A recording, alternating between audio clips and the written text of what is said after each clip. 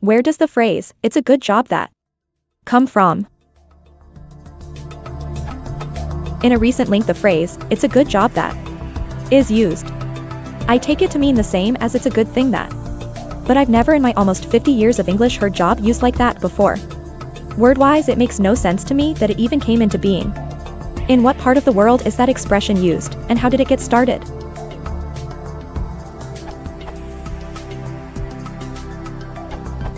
The OED's definition 5 of job is a state of affairs, a situation, a set of circumstances.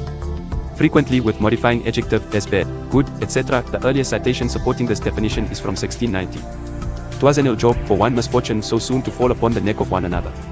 The first citation of good job is from Gilbert and Sullivan's Trial by Jury of 1876, which helpfully illustrates both that sense and the sense of a piece of work.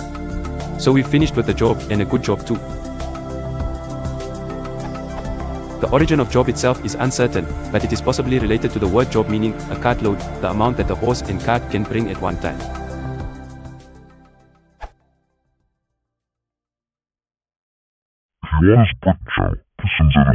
Aspiring.